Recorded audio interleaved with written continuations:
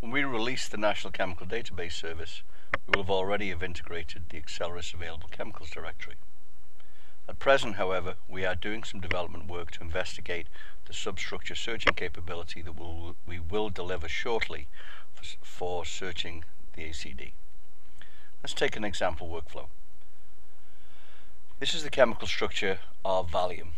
Imagine that I would like to investigate this particular class of compounds and I want to search for a particular substructure.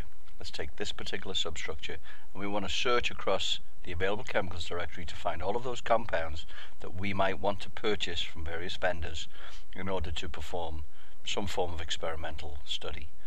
Maybe screening, maybe property determination, something like that. In this case, I'm working in the ACD ChemSketch interface. I've drawn the compound, I've taken the substructure, and I'm going to insert it into the interface. In this case, uh, there are two drawing editors presently available, JChemPaint and JSDraw. In JSDraw, I simply paste the mol file, and there's the substructure.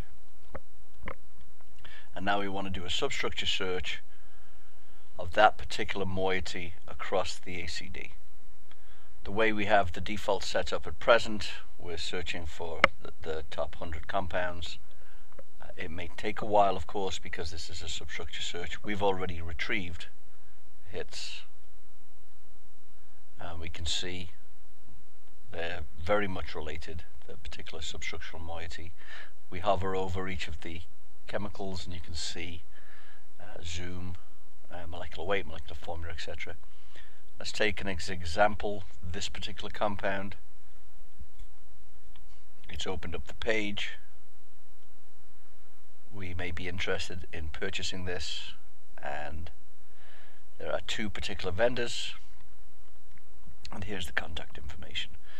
This is definitely work in progress. It shows you what direction we're taking and we hope to unveil this capability in the near future.